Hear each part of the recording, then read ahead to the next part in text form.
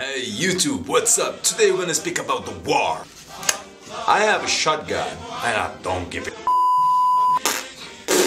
Today we're gonna speak about a topic which is the story of Algeria, but precisely we're gonna speak about the war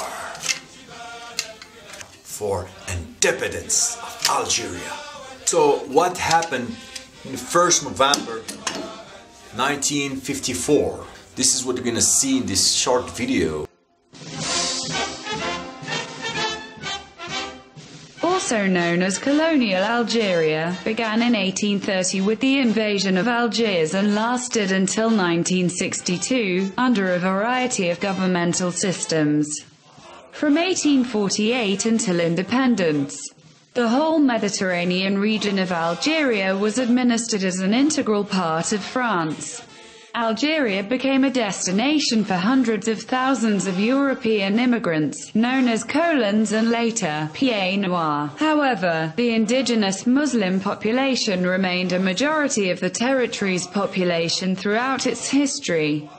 Gradually, dissatisfaction among the Muslim population with its lack of political and economic status fueled calls for greater political autonomy, and eventually independence from France.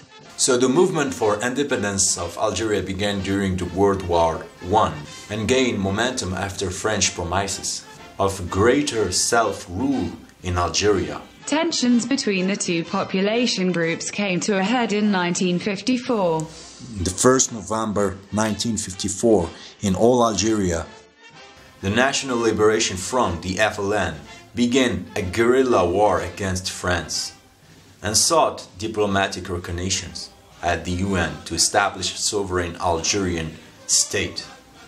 Although the Algerian fighters operate in the countryside, particularly along the country's borders, the most serious fighting took place in and around Algiers, where FLN fighters launched a series of violent urban attacks that came to be known as the Battle of Algiers, 1956-1957. French forces managed to regain control, but only through brutal measures.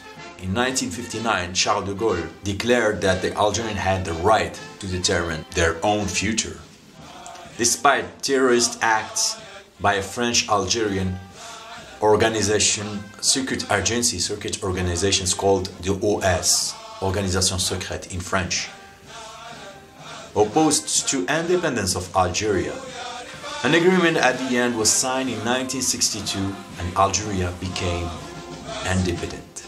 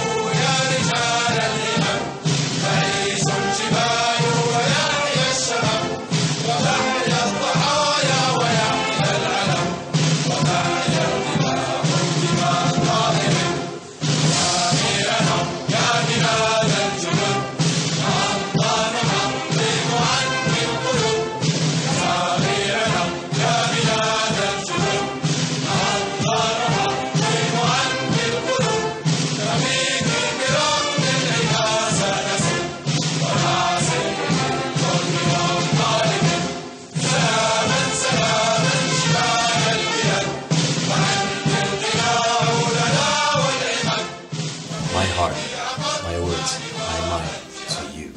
Welcome to Algeria.